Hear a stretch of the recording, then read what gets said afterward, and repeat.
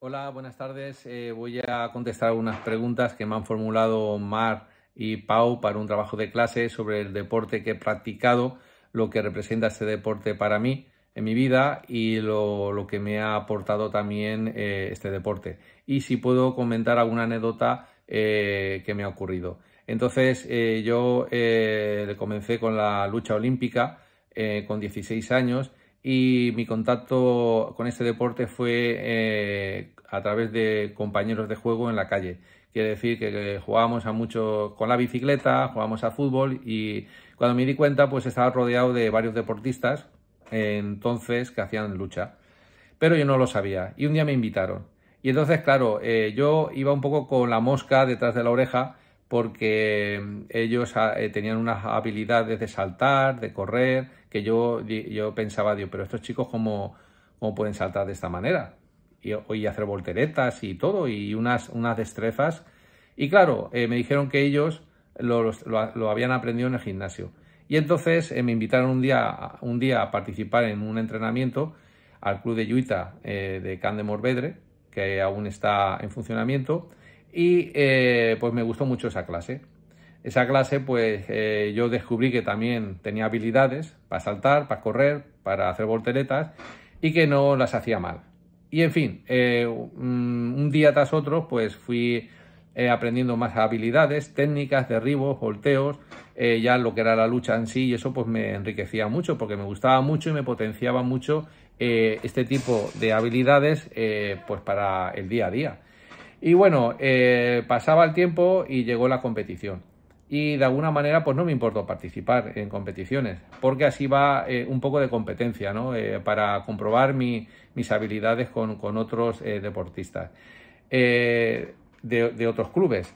¿Esto que representó en mi vida? Pues representó mucho porque empecé a, socializarme más de lo que estaba haciendo hasta ahora.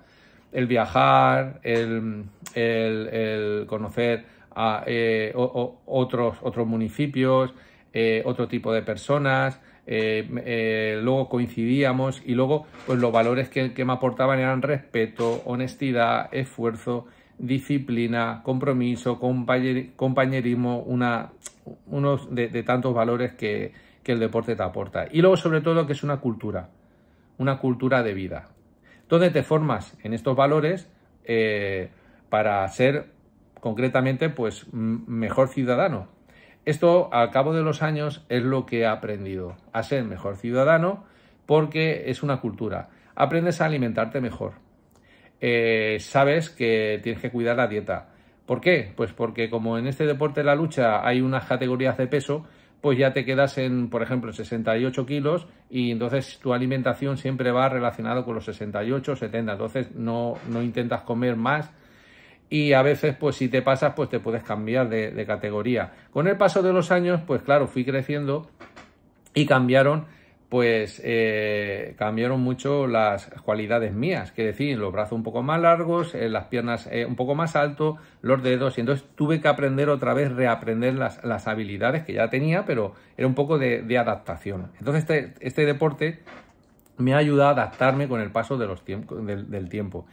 Y luego también eh, me he formado eh, para dar clases a otros deportistas. Eh, en mi caso, ahora actualmente, bueno, debido a la pandemia no, no, tengo esa actividad en la universidad, pero colaboro con la Universidad Católica de Torrent en, en, el en deportes de adversario para que sepan, conozcan nuestro deporte y, conozcan nuestra rutina.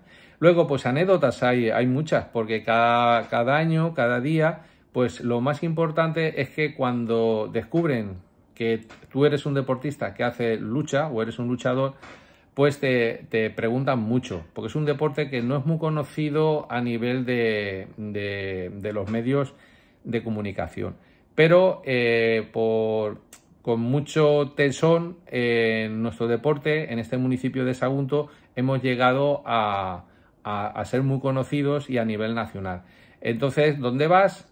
Te conocen como un luchador, eh, aprenden de ti, pues te hacen preguntas, por ejemplo, pero tú realmente eh, qué sabes hacer, si tú me coges, eh, pegas, golpeas, nosotros nuestro deporte no golpeamos, porque no, no es necesario pegar patadas, ni nada por el estilo, ni estrangular, ni nada.